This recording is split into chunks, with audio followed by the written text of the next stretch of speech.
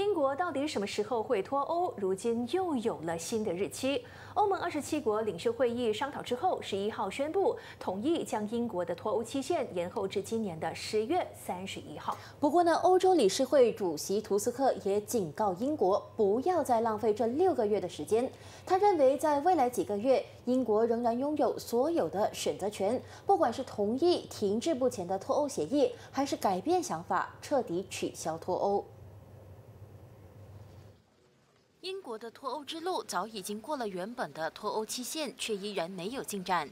欧盟在比利时布鲁塞尔召开紧急峰会，最终决定将英国脱欧日从第一次展延的四月十二号推迟至十月三十一号。欧洲理事会主席图斯克也告诫英国，不要再浪费宽限期了。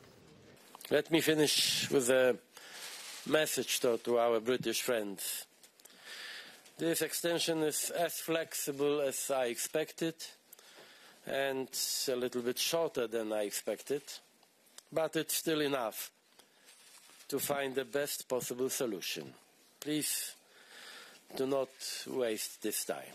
图斯克原先提议将脱欧时程延后一年，不过包括法国总统马克龙在内的一些欧盟领袖却担心，这会导致英国在离开欧盟之前干预欧盟事务。 由于欧洲议会选举将在五月二十三号至二十六号展开，这意味着如果英国到了五月二十二号仍然没有脱离欧盟，那么英国选民就必须参与选举。而英国首相特丽莎梅也希望能够在五月二十二号之前得到议会批准脱欧协议。I had hoped that uh, Parliament would agree to ratify the withdrawal agreement such that we could have left on the 22nd of May.